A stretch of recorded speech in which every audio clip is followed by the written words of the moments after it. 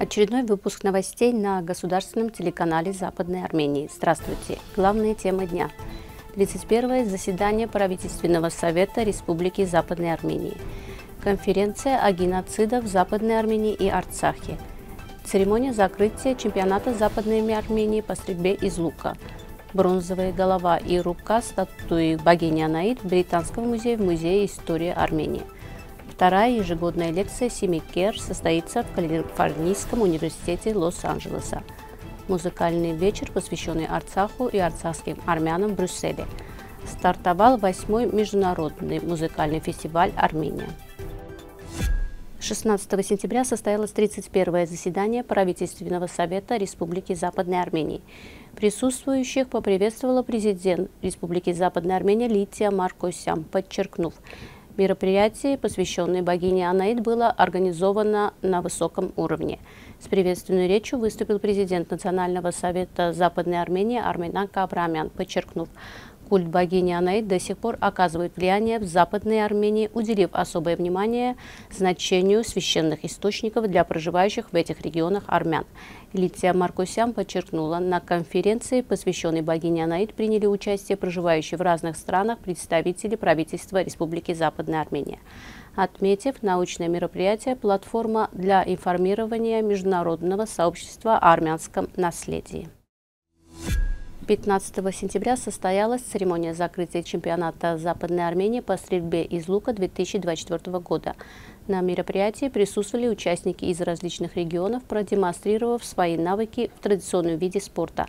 Участники были награждены наградами и медалями, которые лично вручил председатель Национального совета Армена Кабрамян.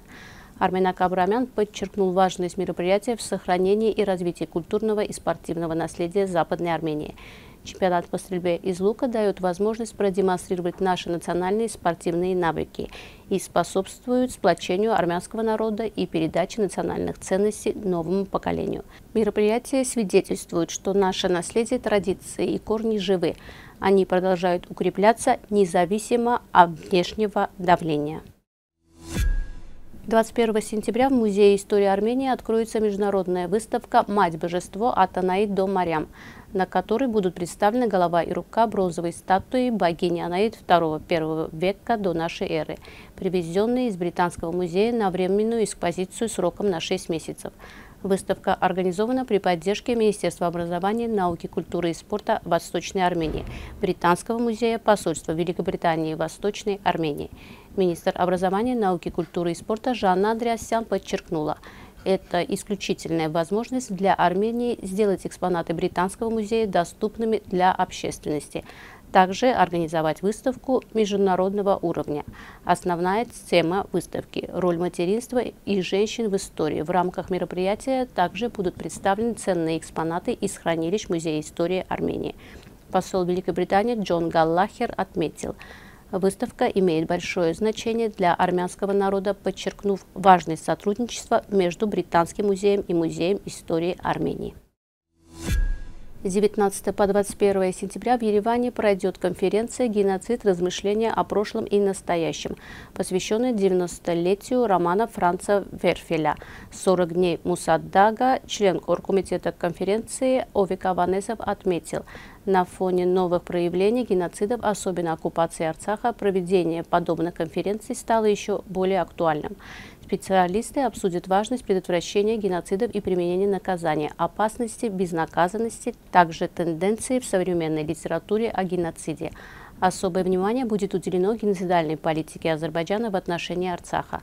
Конференция станет платформой для обмена опытом ученых и проведения совместных исследований.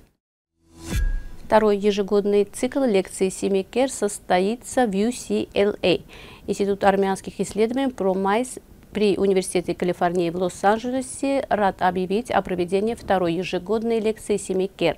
Лекция «Граница нашего сопротивления. Хокебор» Ованес Эскиджан и его сеть сопротивления во время геноцида представит доктор Хачик Мурадян из Колумбийского университета и библиотеки Конгресса США.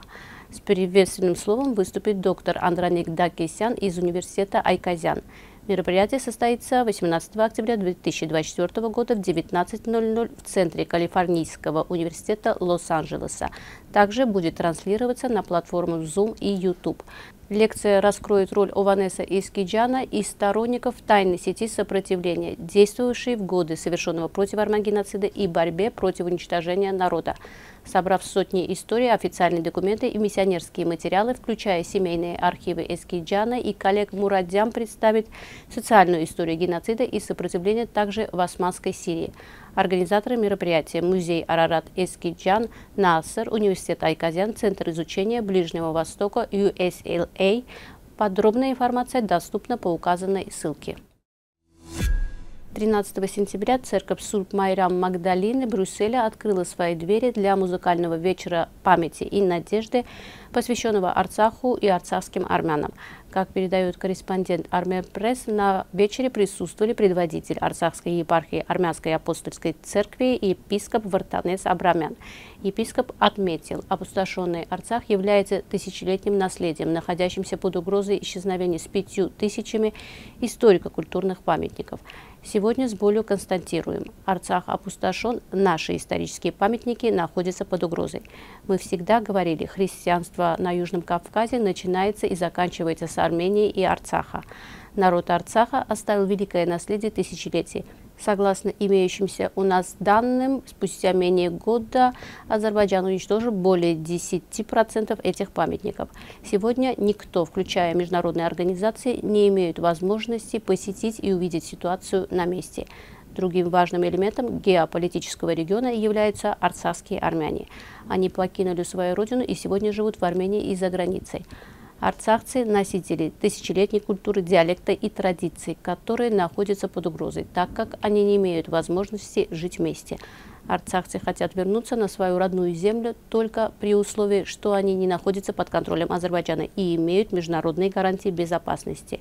Наш народ был перемещен и подвергнут геноциду и имеет полное право на возвращение, отметил епископ Вартанес Абрамян.